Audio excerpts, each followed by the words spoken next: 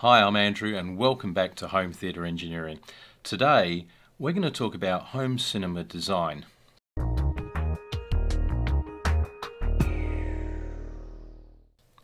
Now in previous videos we've talked before about the two most valuable components in home theatre. Now we consider these to be number one, planning, that's home theatre design, and number two, audio and video calibration. Let's do a quick recap. Why do we consider this to be the case? Well, these are the two components that are the best way of extracting every dollar of performance from the equipment you bought, and the only way to verify that you're actually getting your money's worth. Remember, just building a better home cinema is always going to sound better, certainly better than what you previously had, at least hopefully, and it's probably satisfying even. But can you honestly say that you know that you've got every drop of performance out of your system? And generally the answer is no.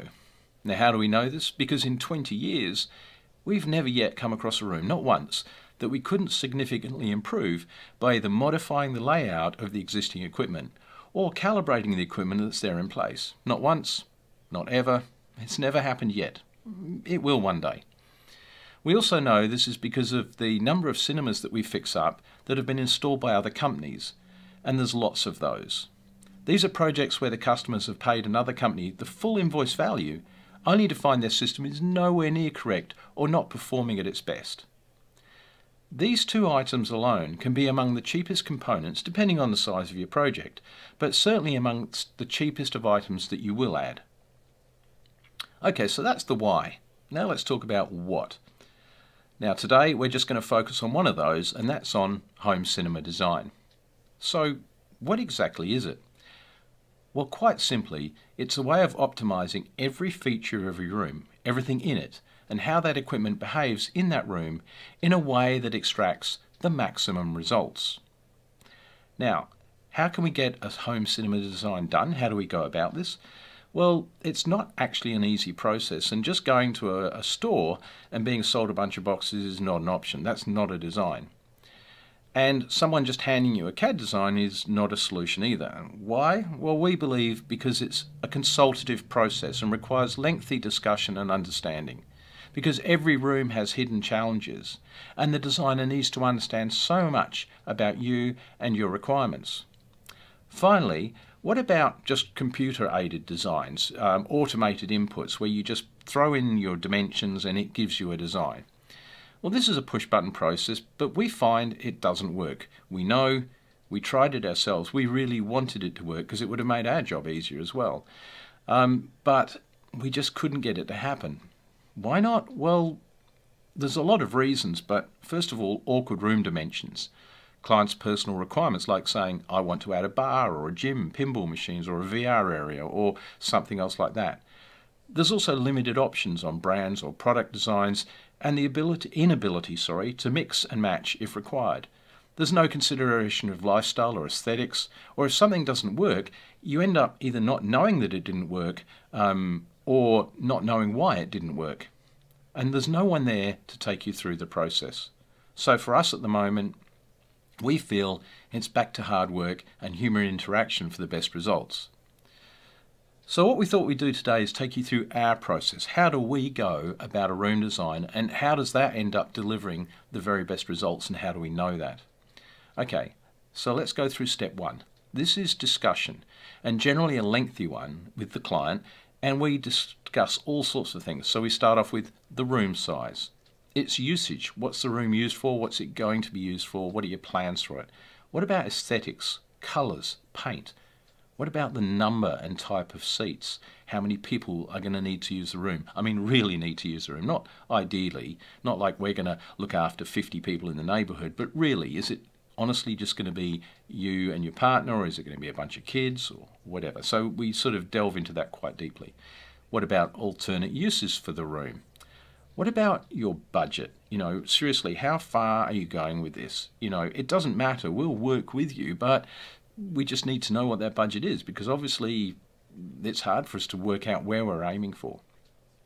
What about your equipment dreams? What pieces of equipment do you really want to have in that room? What type of content do you watch? You know, And what are your actual expectations? You know, um, also we look at the number of channels and formats for audio. Um, and that becomes really important in determining a layout of the room, amount of acoustics and so on and so forth. And then we come of course to the image, so we talk about the possible size and format of the screen. Also we need to know what existing equipment you already have, so that gets factored in as well. We have a look at whether that's going to work in the future. Now what sources do you have or would you like to have or do you have that you want to change? How well are those sources actually going to work? Are they going to work with current HDMI formats or resolutions? Are your internet speeds um, high enough? You know, is there enough reliability and so on and so forth? And speaking of that, what about the resolution of audio and video? You know, what do we uh, plan for now and what do we plan for in the future? And ultimately, do all of these expectations fit the budget? Um, there's also the matter of time frame. How fast does this have to be done? Sometimes there simply isn't enough time if, if the deadline's short. This is a lengthy process. The other thing is, what about sound isolation? That's a whole sort of discussion topic in its own. And then, of course, within the room, there is planning for the acoustic treatment. So that's the discussion. That's just information gathering. Then we go on to step two.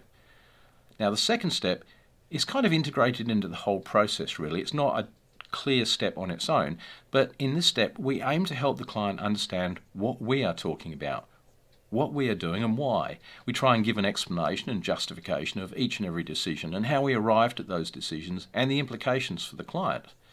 So that, that goes on throughout the whole process. It's just part of what we do. Then we begin the calculations. Now, there can be a lot of calculations. At this point, if we have the option, we'll look at calculating any optimal room dimensions.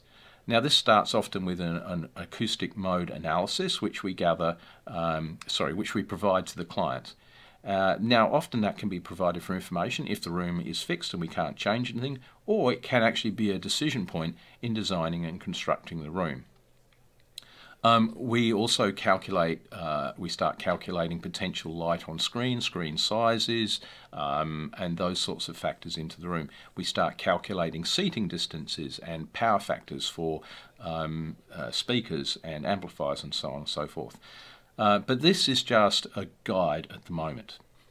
Once we've gathered some of that information, we then start building the model based on this information that we've gathered.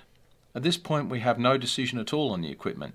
It's all about the room, as this will dictate what equipment will work best in there. And why a model? Why do we do it in 3D? Because we can see the issues as they arise. We can plan the room to the millimetre and make our mistakes there instead of in real life, which can be costly and even embarrassing. It's a great way to immediately see the problems, issues, challenges and compromises.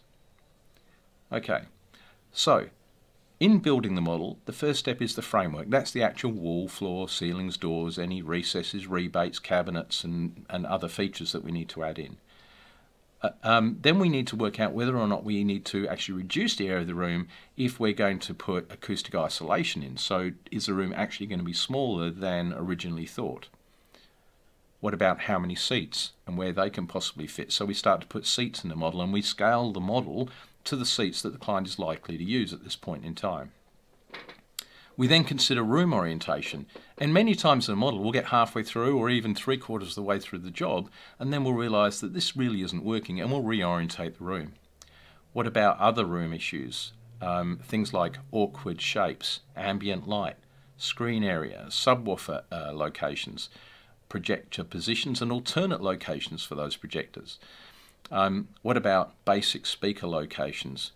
Then we have to consider reflection points from the speakers and the implications of these and the amount of resonance in the speakers in the room.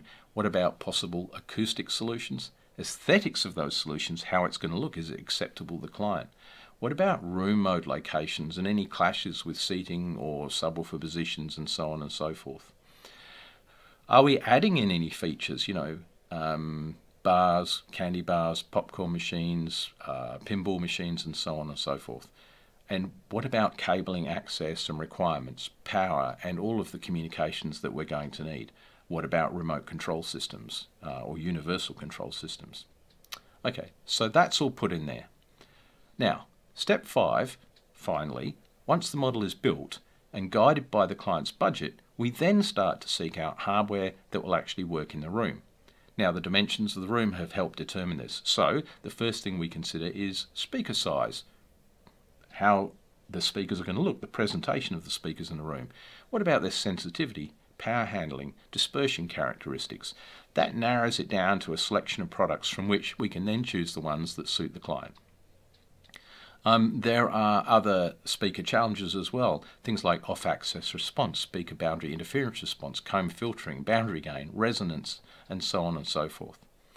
There are also subwoofer challenges. We have to again look at the location of these. What about cabling and setup of these subwoofers? Uh, are we going to need to move them? Where is going to be the final position for the cabling and the power supply for the subwoofers? Same thing applies to the image. So image challenges, screen type. Is it going to be a standard screen or acoustically transparent? How's it going to be mounted on the wall? Is it going to be floating or in a frame? Is it going to be in a recess? What are we going to do about light in that recess? If it is an acoustically transparent screen, what type of acoustically transparent material? And that's going to impact the proximity of the screen to the speakers, which might reduce the apparent size of the room. What about ambient light? What about viewing angles, you know, from different positions in the rooms? What about aspect ratios and gain? Okay, then we move on to things like the audio. So is it going to be a processor or an AVR? What type of amplifiers will best suit this room? Which screen size will work, again, in this room? And what projector will that therefore mean we need to select? How much light will fall on the screen? And what sort of image is it ultimately going to result in? Which subwoofers and where are they? Once again, what seats and why? What sources? And what does this mean for the rest of the equipment? And what do we need in the way of acoustic treatment and how will that be implemented? Okay, so we get all that together and then we reach step six. This is where we take all of that information and it's all built into the model and we go back to you, the client, and we have an in-person or online discussion with the client going through the model in 3D with you and we explain our rationale, testing our ideas with you, getting um, your feedback and acceptance, and considering alternate choices, ideas, and options. Then, of course, step seven, we go back to the model, implement all those changes that we've discussed, and make sure they actually work. Step eight, of course, back to the client, confirm all of those steps, and show them why they either do work or don't work. Then finally, we really start to get to the end of the process to a degree. Uh, step 9 is finalising that design, and step 10 is actually the client signing off, confirming uh, that they're happy with everything, and then we send the measurements and the other information uh, needed to build the room, or of course, some customers opt for us to take over the entire project and do the room for them. And we do that all over the place. You know, I've just come back from working on two rooms overseas, uh, and that was pretty exciting too. So look, I hope that's given you a bit of a deep dive into how our room design process works. We'll do another one on calibration because that's the second of the two most critical factors that we believe in that delivers the best home cinemas. And look, this is our secret sauce. This is how we end up building home cinemas that constantly work, that constantly meet reference, that constantly achieve goals and exceed expectations. You know, it's the effort that we put in and the ability to measure the result of that effort later on that absolutely makes all the difference. And you can do this too.